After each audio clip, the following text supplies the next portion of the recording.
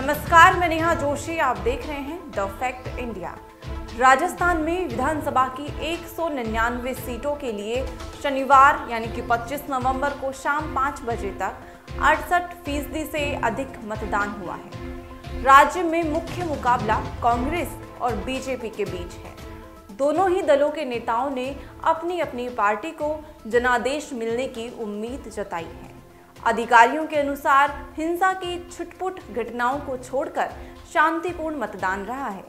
साल 2018 के विधानसभा चुनाव में राज्य में कुल मतदान फ़ीसदी चौहत्तर दशमलव ज़ीरो छह फ़ीसदी रहा था। सत्तारूढ़ कांग्रेस और मुख्य विपक्षी दल बीजेपी के नेताओं ने दिन में मीडिया से बातचीत में विश्वास जताया है कि उनका पार्टी को जनादेश मिलेगा।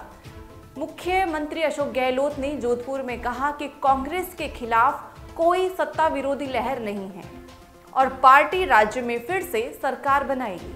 उन्होंने कहा कि ऐसा लगता है कि कोई अंडर करंट है। ऐसा लग रहा है कि सरकार दोबारा बनेगी। सीएम अशोक गहलोत के बयान पर वसुंधरा राजे का पलटवार भी रहा है। वसुंधरा राजे ने झालावाड़ में मीडिया से सीएम अशोक गहलोत के अंडर करंट वाले बयान पर कटाक्ष करते हुए कहा कि मैं उनसे सहमत हूँ, वास्तव में एक अंडर करंट है, लेकिन यह बीजेपी के पक्ष में है। तीन दिसंबर को कमल, यानी कि बीजेपी का चुनाव चिन्ह खिलेगा जोधपुर में केंद्रीय मंत्री गजन सिंह शेखावत ने कहा कि बीजेपी भारी बहुमत के साथ सत्ता में आ रही है। इस बार लोग कांग्रेस के पाँच साल के शासन के दौरान महिलाओं के खिलाफ हुए अपराध, पेपर लीक और भ्रष्टाचार को ध्यान में रखकर वोट करेंगे। इससे पहले दिन में प्रधानमंत्री नरेंद्र मोदी, कांग्रेस अध्यक्ष मल्लिकार्जुन खड़गे और कई अन्य नेताओं ने राजस्थान के लोगों से बड़ी संख्या में मतदान करने की अपील की।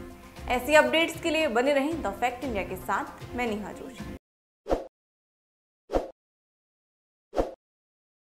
ताज़ा खबरों के लिए विज़िट करें द फैक्ट इंडिया की वेबसाइट और डाउनलोड करें द फैक्ट इंडिया ऐप।